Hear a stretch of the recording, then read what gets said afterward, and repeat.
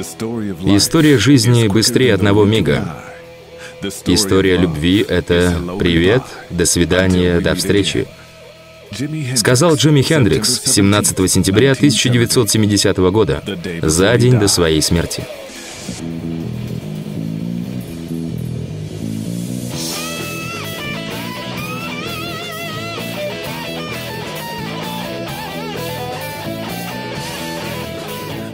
История жизни Джимми Хендрикса может и быстрее одного мига, но история его наследия живет вечно, как и его музыка. Биби Кинг. В рок-н-ролле он был гитаристом номер один. Лес Пол. Он был совершенно необузданным. Он показывал вам, что он может делать все с гитарой. Джон Маклохлин, музыкант.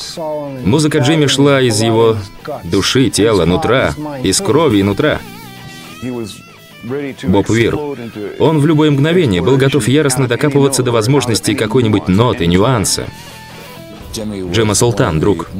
Джимми был одним из самых ярких представителей творческой музыки, когда-либо живших на планете. Леон Хендрикс, брат Джимми. Я считал его пророком.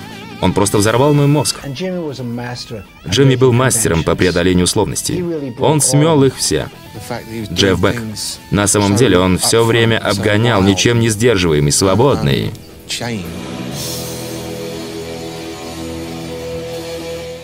Эрни Айли.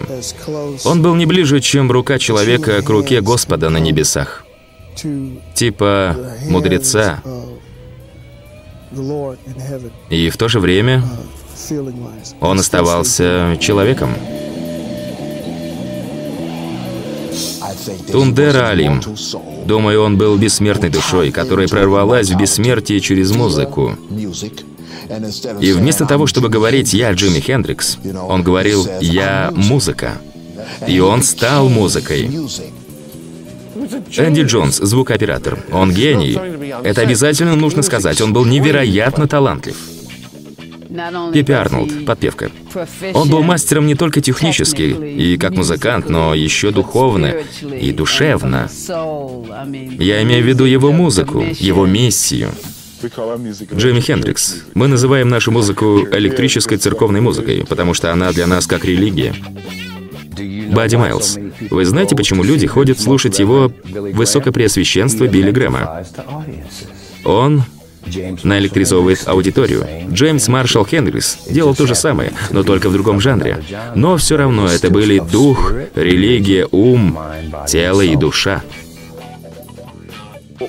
То, что мы говорим, это не протест. Мы даем ответы, в каком-то роде решения.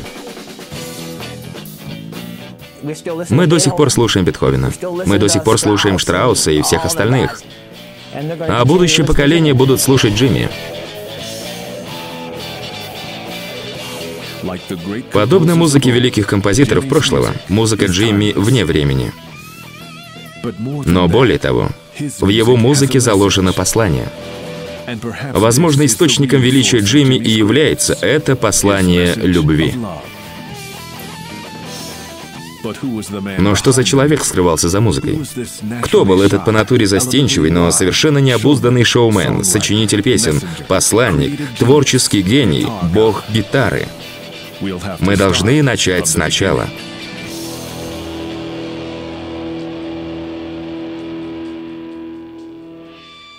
Джимми Хендрикс. Неоконченная история. Часть первая. 1942-61 годы.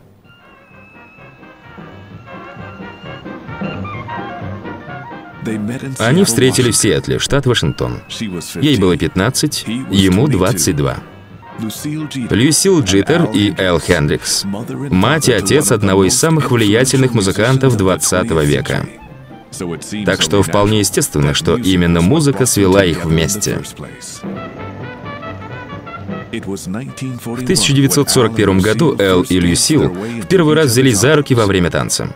Они были партнерами по джиттербагу и считались одной из лучших пар в Сетле.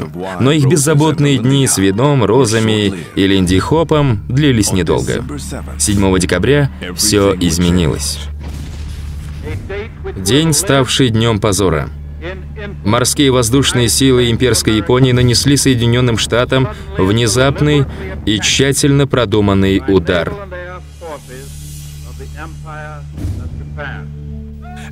Элла призвали в армию, и он вскоре должен был покинуть родной дом. На ухаживание оставалось мало времени, и молодые поженились в марте 42 -го года. Но была еще одна причина такого поступка. Люсил Хендрикс была беременна. Ей было 16 лет. Долорес Холл Хам, тетя Джимми. Никто не ожидал, что моя младшая сестра будет скакать по сцене, выйдет замуж или забеременеет. В то время это было катастрофой. Сами Дрейн, друг детства.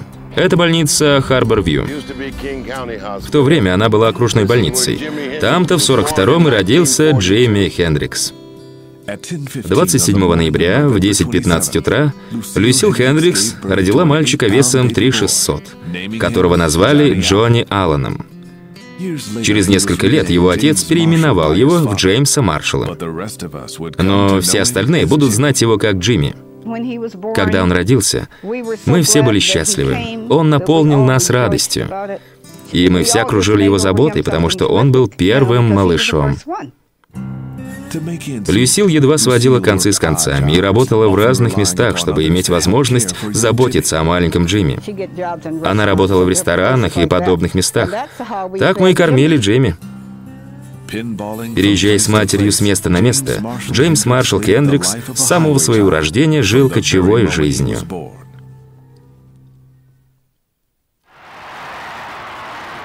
Победа! Япония сдается. В Сетле были вино, женщины, песни, много песен. Так что военнослужащие и гражданские отбросили чопорность в сторону. Кажется, Джимми было три с половиной, когда Эл вернулся домой. Люсил и Эл Хендриксы жили у меня. Когда Джимми было почти четыре года, они решили, что им надо обзавестись своим домом. Они переехали в район Рейнер-Виста, и, думаю, им пришлось нелегко, потому что Джим уже подрос, его надо было готовить к школе, отдавать детсад. Им нужно было платить за квартиру, покупать еду, а Эл не мог найти себе хорошую работу. Джейми Прайер, друг семьи. Когда война окончилась и все оказались без работы, Эл не был квалифицированным рабочим, но он умел работать руками. Он только так мог заработать себе на жизнь.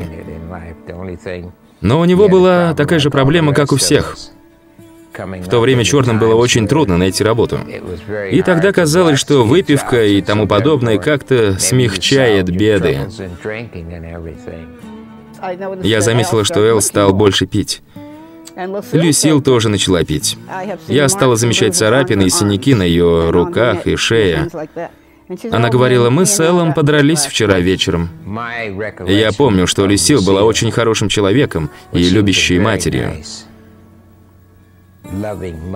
Просто в то время всем нам приходилось решать эти проклятые житейские проблемы из-за нехватки денег. Но она воспитала очень хорошего мальчика, Джимми. Он всегда был очень дружелюбным мальчиком, но иногда вдруг замыкался в себе.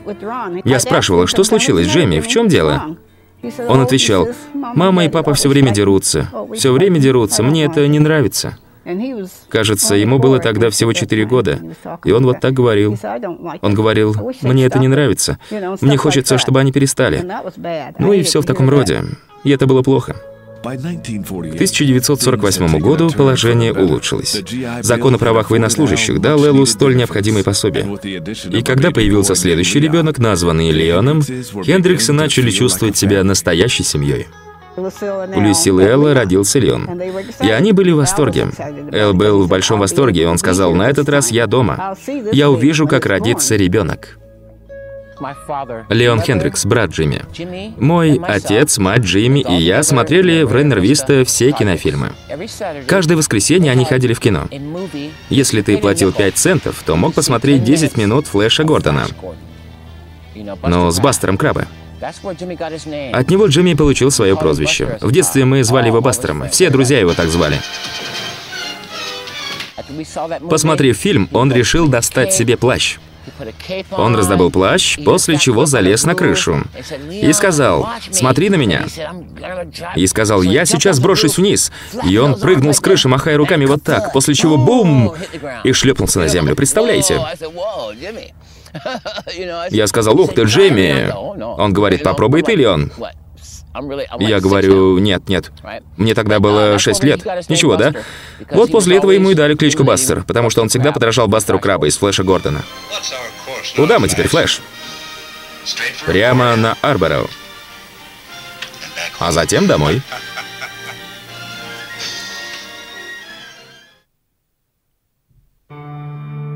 Джо Хендрикс, брат Джимми. Меня зовут Джозеф Аллан Хендрикс, и я сын Элла Хендрикса и Люсил Хендрикс. У Джо было что-то не в порядке с ногой. Что-то, кажется, со стопой, я уже не помню. Так что он все время хромал. И Эллу очень и очень не нравилась перспектива лечить сына. Поэтому Эл решил отдать сына в специализированные заведения. Мне было около трех с половиной лет. Мы с мамой и папой пошли купить мороженое. Мама крепко обняла меня и сказала, «Мне надо идти, я буду ночевать в другом месте». И она заплакала и никак не могла остановиться. Она не хотела вести меня к дверям какого-то дома. Тогда папа поднял меня, и я отнес вместе с коричневым чемоданчиком к дверям. Посадил меня на верхней ступеньке крыльца, позвонил в звонок и сказал, чтобы я сидел и ждал. Кто-нибудь выйдет и заберет меня. И спустился с крыльца. Мама стояла внизу, возле машины, она все время плакала. Тогда он схватил ее и затолкал в машину, закрыл дверцу, сел за руль и уехал. Моя сестра Люсил никогда не простила Эллу то, что он увез от нее Джо. Когда-то счастливая семья вскоре развалилась. Эл и Люсил постоянно ссорились, а потому решили развестись. Джимми выразил свое отношение к распаду семьи в своей песне.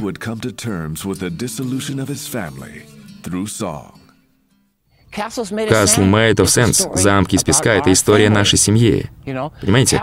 Замки из песка в конечном счете всегда размываются морем. Тина Хендрикс, племянница Джимми. «Замки из песка» — моя любимая песня, потому что в ней говорится о том, что пережили в детстве он и мой папа.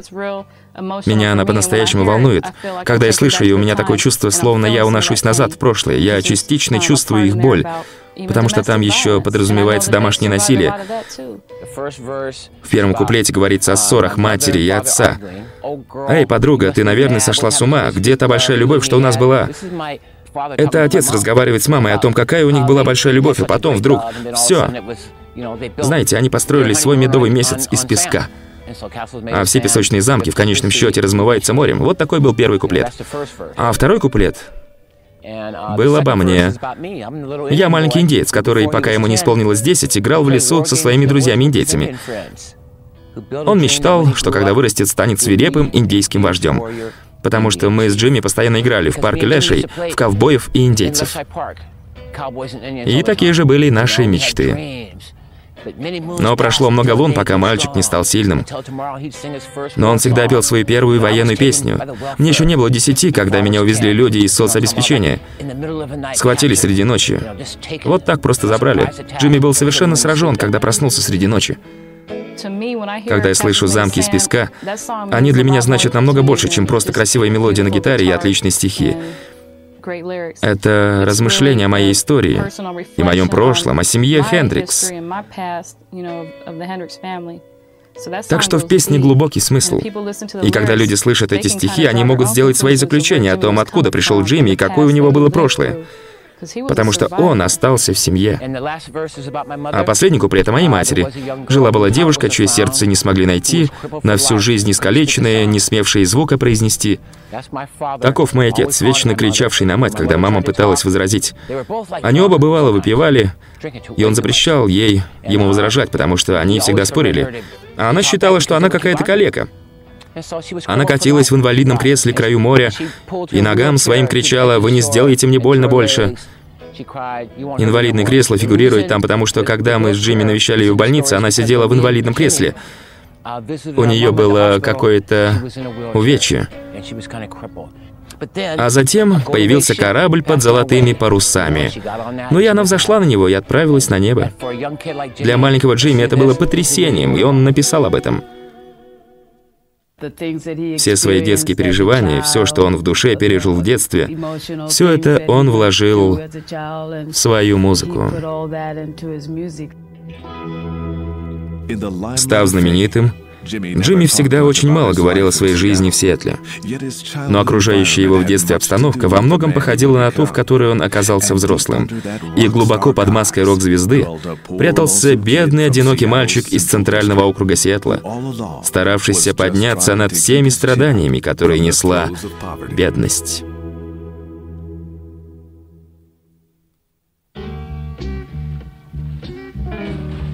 Мэри Уилликс, подруга детства.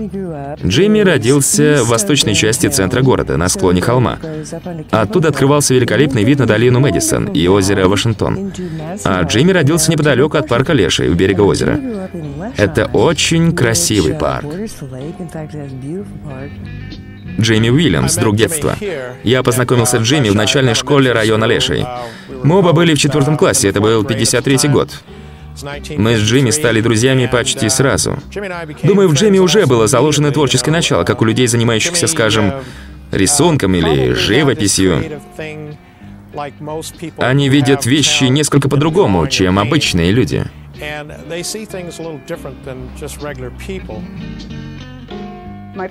Моя подруга Дороти была приходящей няней, когда Джимми был маленьким.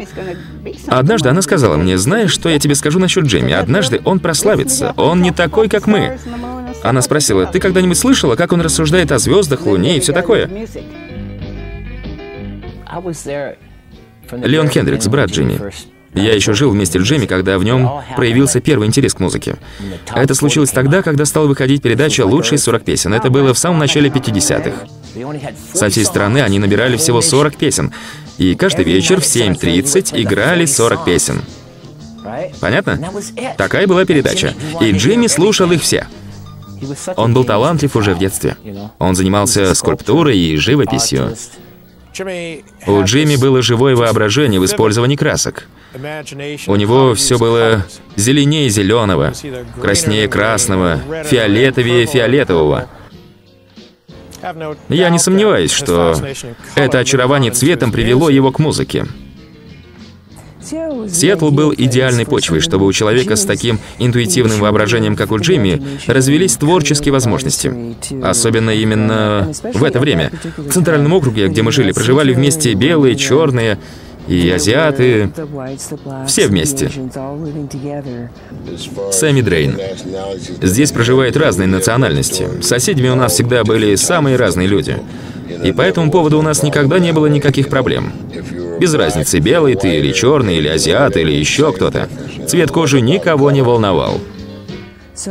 Так что идея о единстве душ, которой проникся Джимми, была заложена уже в самой общине. Мы здесь никогда не знали расизма. Мы нормально общались, дружили. Знаете, Брюс Ли тоже иногда приходил и играл с нами. Все мы ходили в одну школу здесь, в Лешее.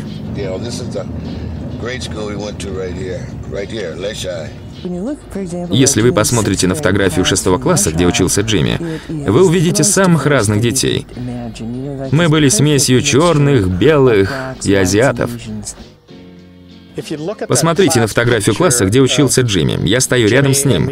Это начальная школа в Лешей. Для нас это было настоящим благословением, что там были дети отовсюду. Наверное, в то время это было одно из самых космополитических мест в США. На фотографии вы можете увидеть этническое разнообразие детей. И мы все были очень хорошими друзьями. Я думаю, в нас всех было что-то совершенно исключительное. И я уверена, что это тоже способствовало тому, что Джимми так проявил себя.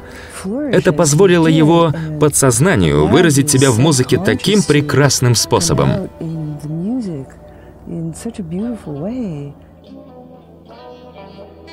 Диди Банди, кузина. Я впервые услышала его музыку у одного из своих друзей. И этот парень сказал мне, «Ты должна услышать эту музыку». Они мне сыграли, и я сказала, «Это круто». А он мне, «Он из Сиэтла». А я ему, «Он мой кузен». О боже, я была поражена его ритмами. Было ясно, что он не задержится в Сиэтле, играет там на ударных или еще на чем-то. Уже тогда в его музыке чувствовался дух Нью-Эйджа. Потом он будет сочетать в своей музыке весь свой музыкальный опыт. Рональд Буфорд, друг детства. Он таскал за собой вибрафон из Сиэтла в течение всей своей музыкальной карьеры. Это был инструмент из Сиэтла. Джимми Хендрикс провел две трети из своих 27 лет в Сиэтле. Сиэтл стал частью его, плохой и хороший. К сожалению, плохое затемняло хорошее, оставив на нем шрамы, причинявшие ему боль до конца его жизни. Кэти Этчингем, подруга Джимми. У него было очень несчастное детство. Он рассказывал, что у него не было ни еды, ни обуви, что не было сменной одежды, что приходилось ходить по домам, чтобы поесть, и что отец бил его по лицу и брил ему голову, и что он часто сбегал. Но ему приходилось возвращаться домой, потому что ему было некуда идти. Отец обращался с нами довольно жестко. Он вырос во времена Великой депрессии, когда было трудно свести концы с концами. То, что он зарабатывал за день, хватало только на еду на тот же день. И на завтра он вынужден был опять идти работать. Он буквально очень жестоко вколачивал в нас чувство необходимости работать. Но все равно мы очень любили отца. Вообще-то он был хорошим человеком, он ведь вырастил нас. Он нас содержал, кормил. Он прятал нас у соседей, когда не мог нас содержать. Мы ездили в Канаду и обратно, чтобы социальные службы не забрали нас. Мы по-настоящему были несчастны только тогда, когда мама с папой разошлись. И тогда нам пришлось переходить от мамы к папе и наоборот. Между Эллом, его бывшей женой, матерью Джимми, было столько неприязни. И, наверное, Джимми подумал, что она его бросила. Когда дети еще такие маленькие, они не понимают, что к чему. Он считал, что по-настоящему у него не было семьи. Но он много рассказывал о своем брате Лиане.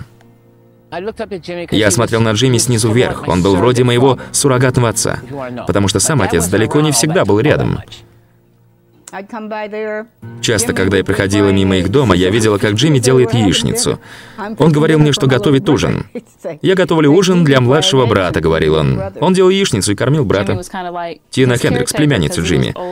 Джимми заботился о нем, потому что он был старше и вообще был любящим братом. По словам моего отца, он лучший старший брат, какого только можно себе пожелать. Папа рассказывал мне, как они веселились, когда были маленькими. Но и о трудных временах он тоже рассказывал. О детских домах, о побоях побоях и все такое. Нам очень не хотелось тоже попадать в детский дом, поэтому мы всегда хорошо себя вели. Эл из-за нищеты был вынужден расстаться с Леон. Это было плохо. Он оставлял его у разных людей, а потом отдал в детский дом. Это было очень плохо. Меня забрали, а Джимми нет, потому что ему уже было больше 12. В то время считалось, что если тебе уже 12, ты в состоянии себя прокормить и содержать. Дайана Хендрикс, кузина Джимми. В то время у моего дяди Элла Хендрикса были финансовые трудности.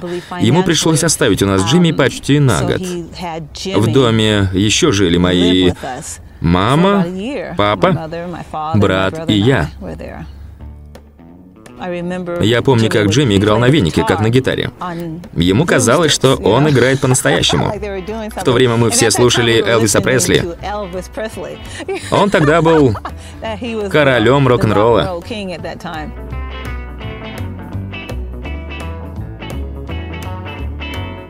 Как Элвис, Джимми впитал в себя любовь к музыке.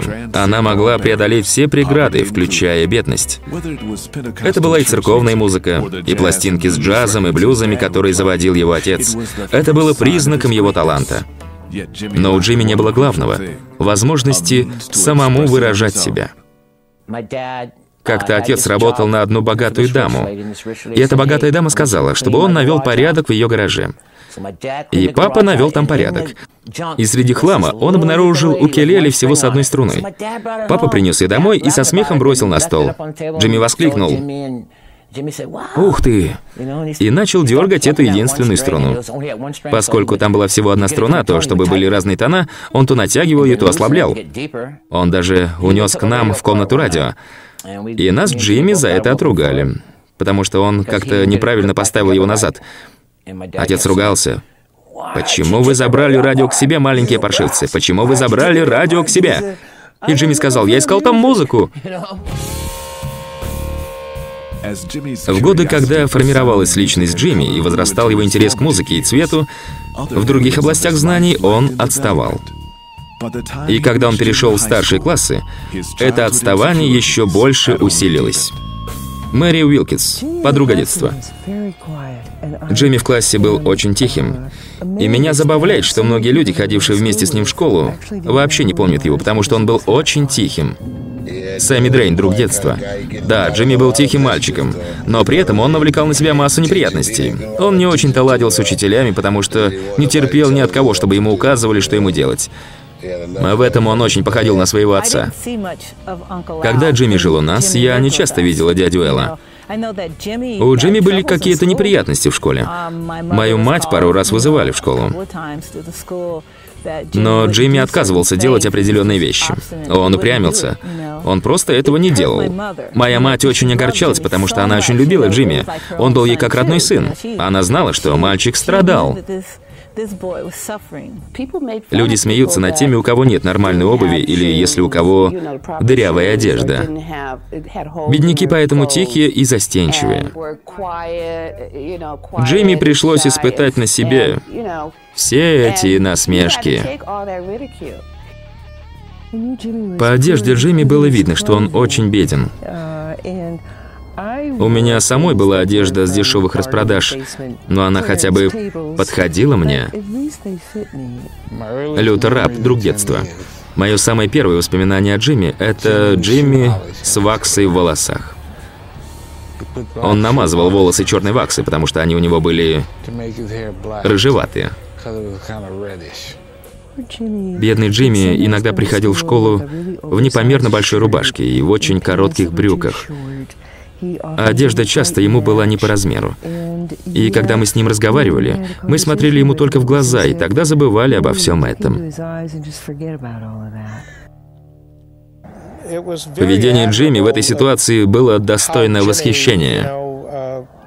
Он вел себя очень и очень достойно. Когда мы с ним разговаривали, невозможно было даже предположить, что он так беден. У него был очень мягкий характер. Многие люди почти не помнят его в детстве, потому что он был очень-очень тихим.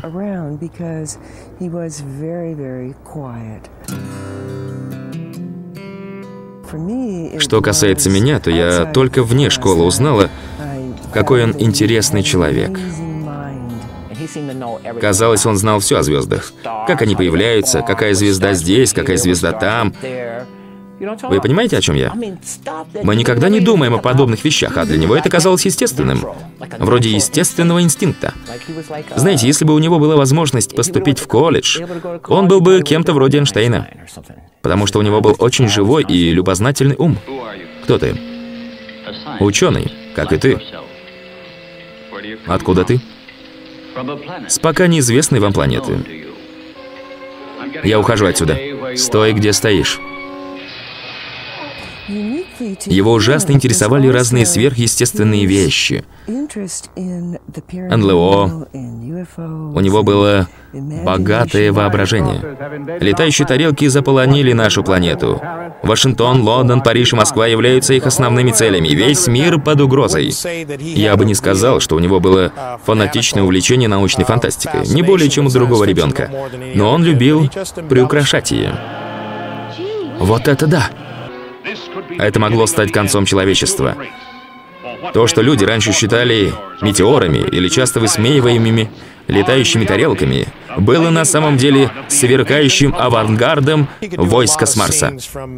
Он часто изображал сцены из «Войны миров».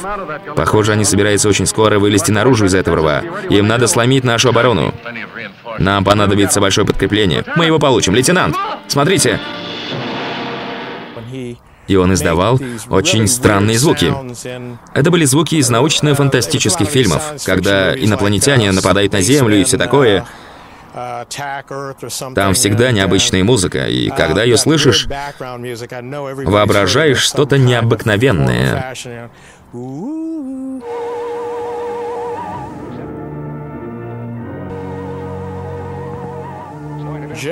Джимми очень увлекался этими звуковыми характеристиками. Иногда его было очень трудно вернуть в реальность. Мы ему говорили, хватит, Джимми, нужно быть серьезным, хватит. А он делал так. Я пришел сюда, чтобы изложить вам эти факты. Но если вы угрожаете продолжать применять силу, ваша Земля превратится в пепел.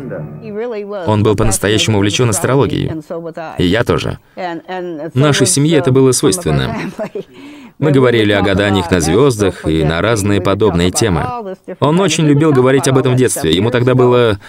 Сколько же ему тогда было? Лет 11, 12, что-то около того. Думаю, Джимми был одним из тех немногих людей, которые даже в таком возрасте имеют связь со своим подсознательным. Так что, когда он начинал говорить о таких вещах, было явно, что это исходит не из левого рационального полушария, а откуда-то еще. Это исходило из чего-то очень глубокого в нем, словно прорывалось из него, как это было позже с его музыкой. Джимми был интеллектуальным, одухотворенным, творческим. Отец не любил такие вещи. Вы понимаете, о чем я? Он не любил такие мысли. Он считал, что они бесполезны, потому что они были бесполезны для него. Он считал, что для того, чтобы выжить, нужно все время вкалывать. Возиться в грязи. Типа того. А у нас с Джимми были и другие идеи. Привет всем, как дела? С вами ваш верный Алан Фрид. С 1957 года идеи Джимми начали принимать другую форму, чему способствовали такие музыканты, как Бадди Холли, Чак Берри, Фэтс Домино, Литл Ричард, Джерри Ли Льюис. И, конечно, сам король. Джимми любил Элвиса и ходил на его выступление в Сиэтле в том же году. И в том же 57-м он познакомился с Литлом Ричардом, который приехал навестить свою мать, живущую неподалеку от Хендриксов. Судьба распорядилась так, что 8 лет спустя Джимми будет играть в группе Литла Ричарда. Но тогда, в 57-м, Джимми больше интересовала игра в местной футбольной команде, чем перспектива стать звездой рок-н-ролла.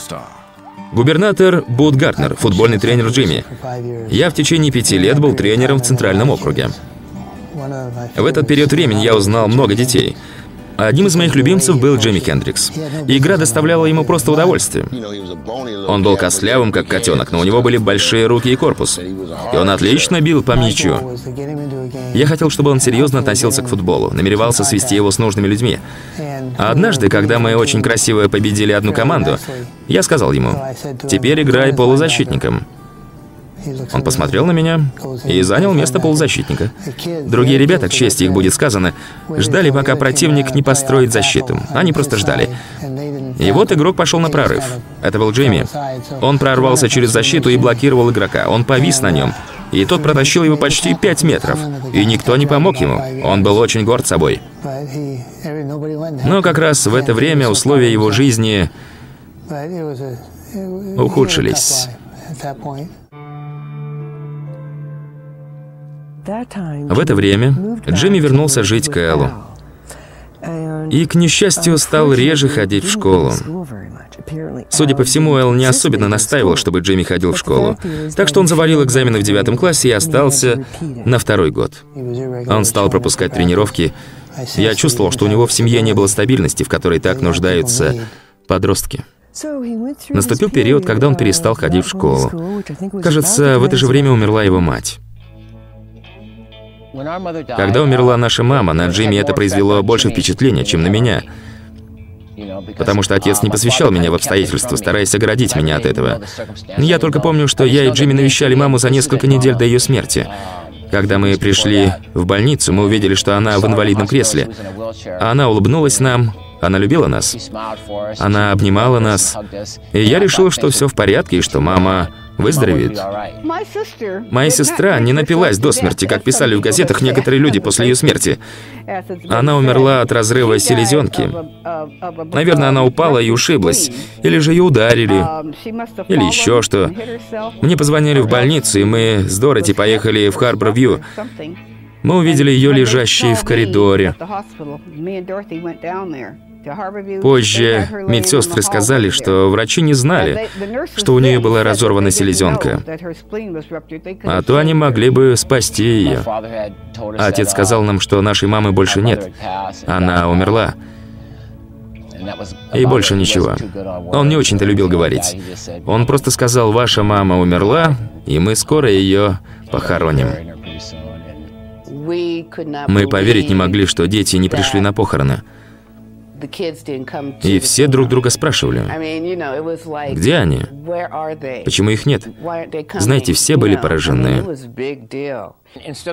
Вместо того, чтобы повести нас на похороны, он налил нам обоим по стопке виски. Он был очень расстроен. Он очень любил маму и переживал ее смерть. И когда она умерла, он не разрешил нам с Джимми идти на похороны. Вместо этого налил нам обоим по стопке виски и сказал, вот так поступают мужчины.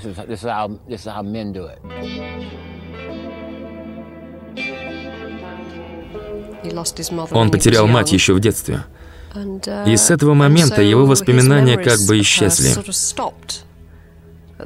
А вместо этих исчезнувших воспоминаний появились романтизированные истории. Моя мать ехала на верблюде. Она ехала под деревьями. На лице ее можно было видеть тень от листьев, потому что она ехала под ними. И эти тени были зеленого и желтого цвета. Она сказала, «Теперь я буду редко с тобой видеться». Это было через два года после того, как она умерла. Он написал песню «Энджел» про ангела. Это была песня, посвященная его матери. А вот так он ее чувствовал, такой она ему казалась. Он считал ее красивой. Он часто говорил о ее красоте и о том, какой она была светлокожей, и как она любила его. Он любил ее. Мне кажется, у него был абсолютно романтизированный образ своей матери. Когда их мать отправилась на небо, дед очень много работал, он все время был на работе, так что ребята почти всегда были одни. Помню, я как-то зашел к ним, чтобы забрать его на тренировку, потому что он уже целую неделю не приходил. В доме было холодно, свет не горел. Мне показалось, что он предоставлен сам себе. Если он хотел чего-то добиться, он должен был сделать так, чтобы это случилось. Но когда ты ребенок, это не всегда удается. Это было худшее время в его жизни. Иногда он приходил к моему дому, садился на крыльцо и плакал. Просто сидел там. Я спрашивал, что, думаешь о своей маме, о Люсил?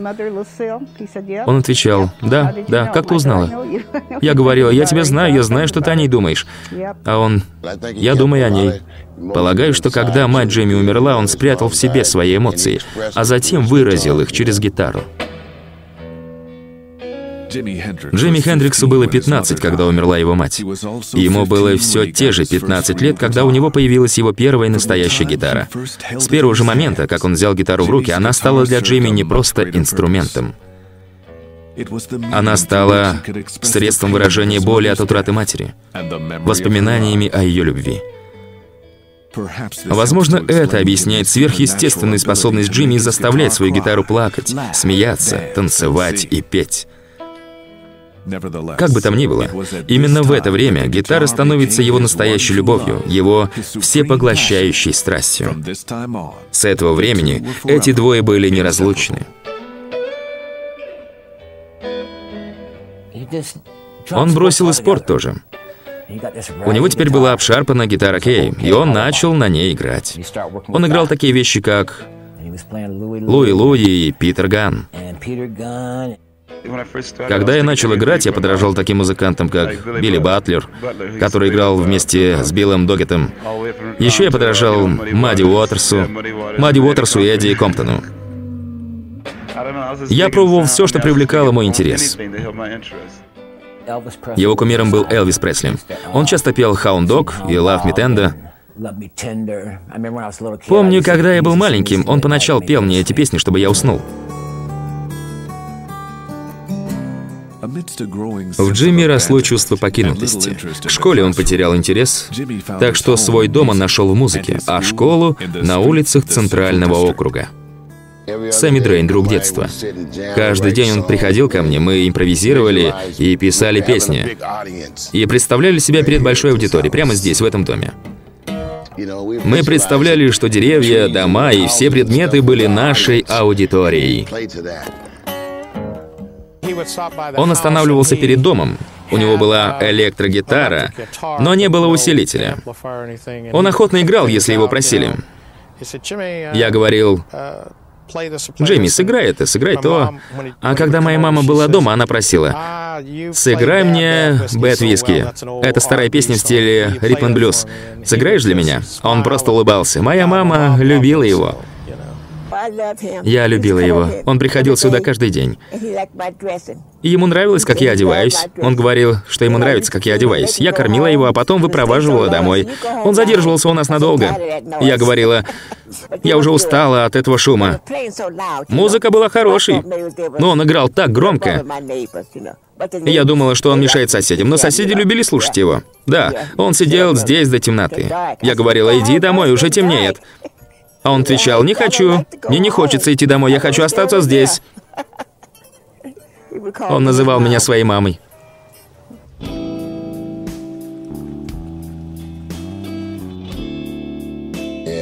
Да, здесь было ядро всего происходящего. именно здесь. Центральный округ в штат Вашингтон. Там есть Красный дом, в нем жила моя девушка. Это песня Джимми Хендрикса «Красный дом», «Ред Хаус». Вот этот дом. В нем жила Бетти Морган, подружка Джимми. Он провожал ее домой из школы. Джимми был влюблен в Бетти. Она жила здесь. А это Гарфилдская средняя школа, где продолжалась его учеба. Здесь учились великие Джимми Хендрикс, Куинси Джонс, Брюс Ли и еще другие великие люди.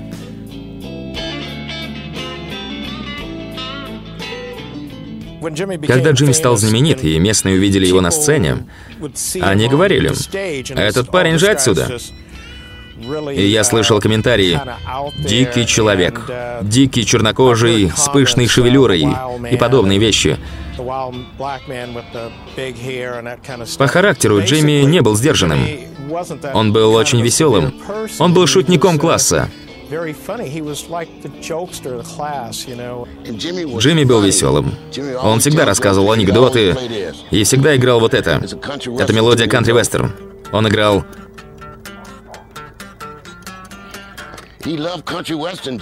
Джимми любил кантри-вестерн.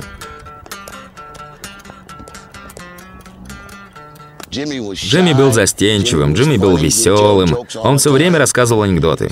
Он был веселым, застенчивым и каким-то одиноким, и с ним всегда была его гитара. Он все время играл. Как только была возможность, он играл. Он просыпался утром с гитарой на груди. И первое, что он делал, это шевелил пальцами. Перед тем, как почистить зубы или пописать, он уже играл аккорды. Так что это было неизбежно, что однажды он станет мастером, маэстро. Это было неизбежно.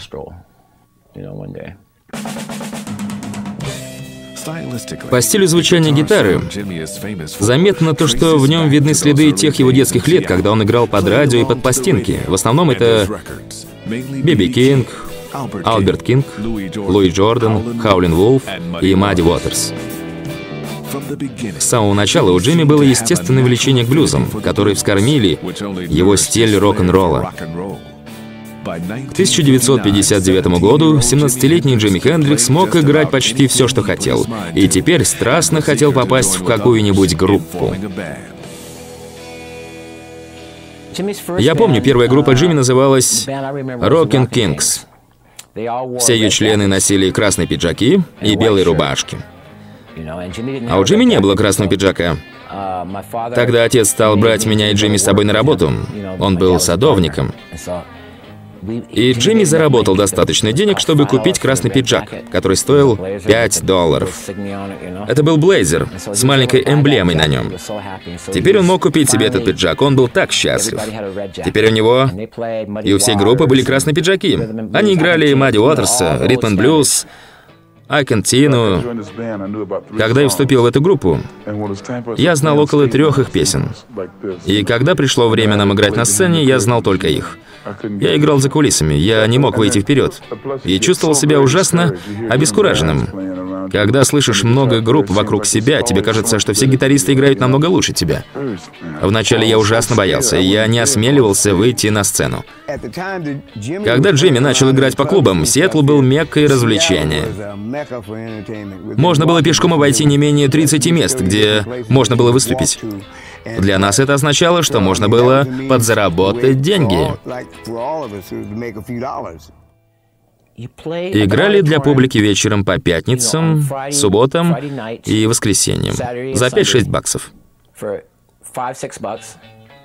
По всему городу была куча разных точек, крошечные клубы, никаких стадионов, залов, но он был счастлив. Вы, наверное, слышали о Spanish Castle Magic. Spanish Castle Magic был ночным клубом на шоссе Пасифик. И это еще и название песни, которую написал Джейми. Spanish Castle Magic. Это в километре от города, так что приходилось добираться на стрекозе. Стрекозой мы называли нашу машину. Я помню Spanish Castle, потому что я там работал. Там были разные выступления. Так вот, он не был лидером группы, он не был главным, но, знаете, он крал внимание. Он играл своим стилем. По-своему. Или это прорывалось само, не по его воле. Джимми начал вытворять разные странные вещи. Гитара производила эффект квакуши. Она была переменчива. Люди прекращали танцевать и смотрели на него с недоумением. Типа, что здесь происходит? Он был далеко впереди своего времени. Знаете, на середине одной из их песен в стиле ритм блюз он вдруг делал так. А они ему «Джимми, нет, нет!» Группа не переносила, когда Джимми делал фидбэк. Каждый раз, когда он делал фидбэк, они расстраивались. Они спрашивали «Джимми, что ты делаешь?» И Джимми говорил «Ой, извините, извините, мне нужно было сделать этот маленький аккорд». Бывало так, что его нанимали в пятницу, а в воскресенье уже увольняли, потому что не могли больше с ним играть. Он был слишком подвижен в музыке. Ему было наплевать, кто на него смотрел. Или не смотрел. Он будто репетировал. Для большого выступления.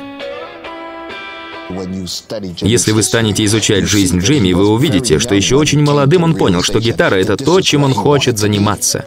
Техер Куалим, друг, если ты с детства в контакте с музыкой, то к тебе придут самые сильные творческие силы. Они обычно сопровождают молодых.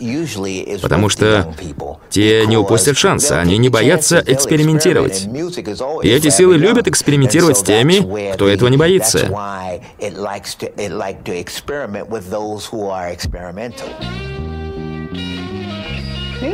Музыка превратила его в другого человека. В совершенно другого человека.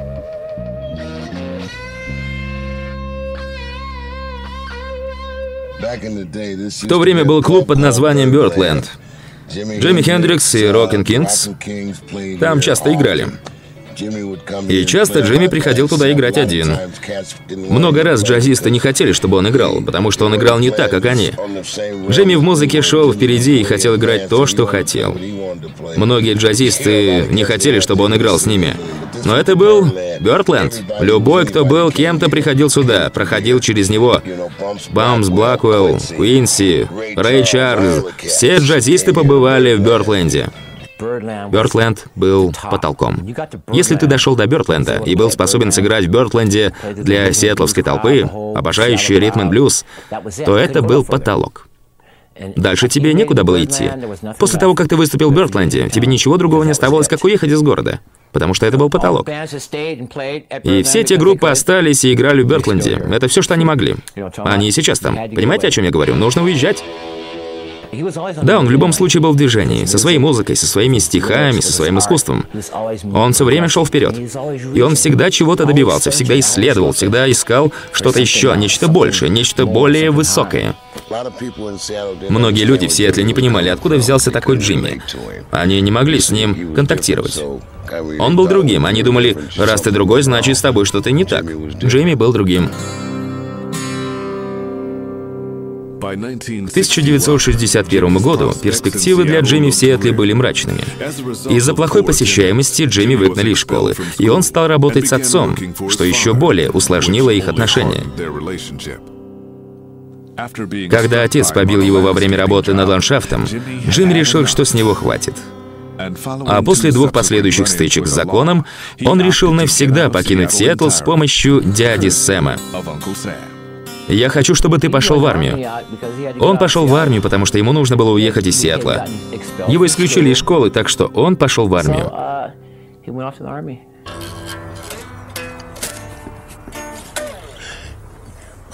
Пока, Джимми, слышишь, подходит поезд. Он ждал своего поезда, чтобы тот увез его из этого тоскливого города. Ему необходимо было уехать. Так что он ждал этого поезда чтобы потом вернуться и купить этот город. Что он и сделал. В мае 61-го Джимми вскочил на поезд, оставив позади свою жизнь в Сиэтле раз и навсегда. Он будет время от времени заезжать туда, но только для того, чтобы уехать. Настоящий дом Джимми был в другом месте, где-то далеко, ожидая его в его мечтах.